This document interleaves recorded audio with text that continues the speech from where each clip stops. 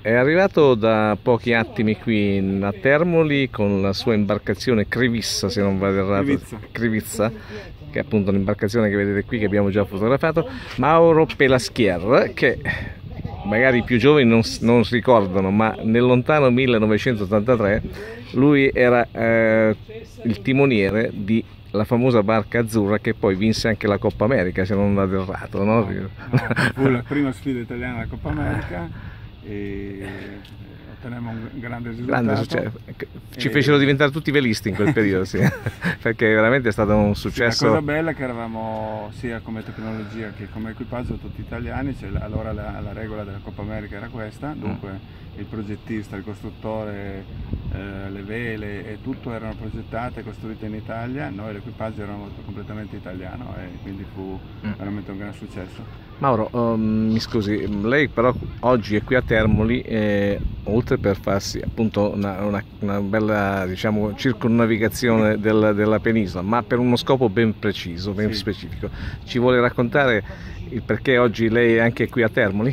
Dunque io sono ambasciatore di One Ocean Foundation, eh, istituita dalla principessa Aga Khan, eh, Zara Aga Khan, eh, dove lo, lo Yacht Club Costa Smeralda ovviamente è il principale artefice di tutto questo e, e il principe Karim Aga Khan è il presidente. E hanno voluto assolutamente lavorare in prima persona contro le plastiche in mare, dunque cercare di... Grande eh, flagello per la fauna marittima e non solo. No, anche per anche noi la stessi, anche per la fauna umana eh, soprattutto. e, e dunque il- sì, un, un- un viaggio che io eh, faccio da, sono partito da Trieste e, e arriverò a Genova eh, toccando molti porti portando la carta smeralda. Cos'è la carta smeralda? È semplicemente eh, una serie di, di- di, diciamo, comandamenti per un comportamento adeguato per salvaguardare il mare. Cioè, noi, noi marinai per primi che, che usufruiamo di questa magnifica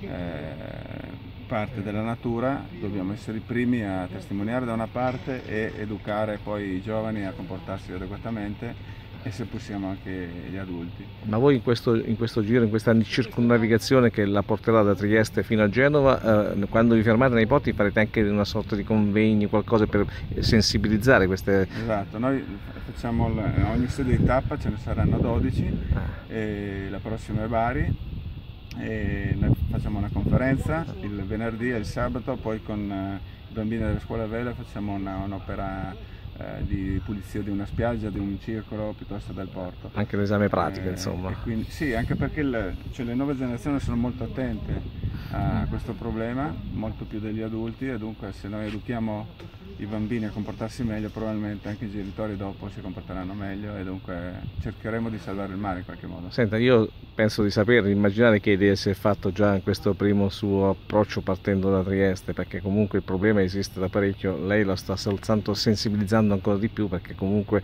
è da sensibilizzare verso il mondo esterno. Ma in questo momento che risultati sta avendo in questo suo giro? Diciamo che, il, che il- il mare si sapeva già, io sono 60 anni che navigo e quindi posso dire di aver visto il degrado eh, in, in questo piccolo eh, spazio di tempo eh, della vita della Terra e siamo riusciti con la plastica dal, dal 53 in poi a distruggere veramente l'elemento principale per la nostra vita, l'acqua.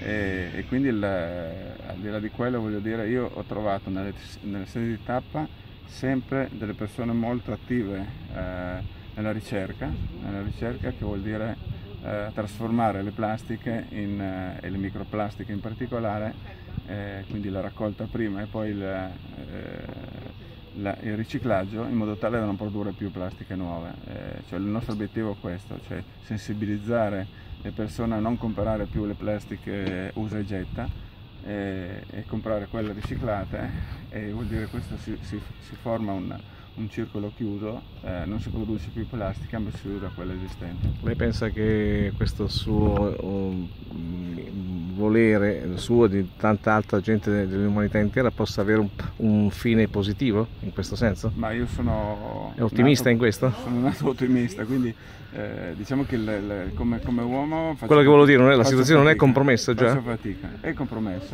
dobbiamo agire subito.